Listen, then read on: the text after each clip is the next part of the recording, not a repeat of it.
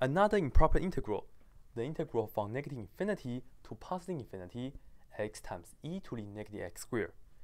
Unfortunately, we see both infinities right here, the negative and the positive infinity. And remember, we can only deal with one infinity at a time in the integral. So we have to break this apart into two pieces. So this is what we can do. For the first integral that we can you know, break it apart, I will start off with negative infinity as well and ends with some number. And then I'm just going to leave it right here. The inside will stay the same, x times e to the negative x squared dx. And then we will combine with the second integral. And then for the starting number right here, this number has to be the same as that number of your choice. And then the top right here will be the infinity. And of course, the inside will be x times e to the negative x squared dx.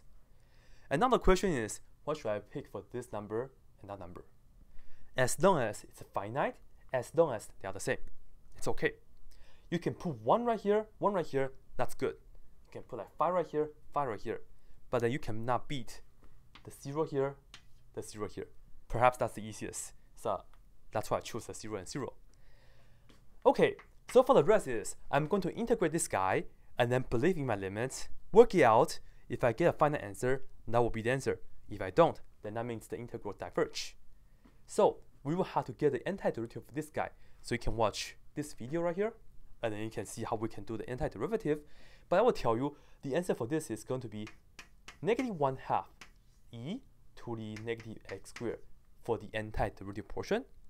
And then for the first part, we're going to focus on from negative infinity to 0. So this is the first part to focus.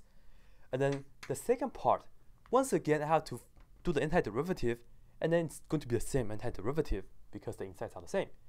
We will have negative 1 over 2 e to the negative x squared, but then in this part, we are going to go from 0 to positive infinity. And hopefully, I can get a final answer from both of this. If not, then that means this, this integral diverge. So for the first part right here, I'm going to plug in 0 into x first and then subtract, right?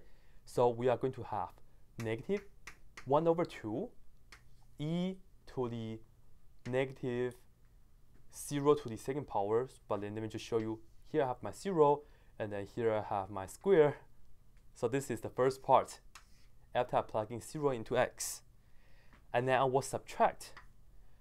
Plugging negative infinity into this x, we have negative 1 half e to the negative, then open the parentheses, and then plugging negative infinity into x. But then we still have this part being squared, okay? So that's the first part from here. And now to add this part, and what do I do? Well, I plug in infinity into x first, so I will have negative 1 half e to the negative then open the parentheses, we have the negative here. And inside of this parentheses, we have positive infinity. And then we have to do this square. And then we will subtract, and you plug in 0 in here. And this is going to be negative 1 half, and we have e to negative 0 square. So let me just do this for you guys. 0 square. So that's the setup. Not too easy, not too hard. Everyone can handle this, right? All right, so this is going to be what? This is good because this is e to the 0, which is just going to be 1. Negative 0, which is same as 0. So we have negative 1 half for this parentheses. And what's this? Check this out.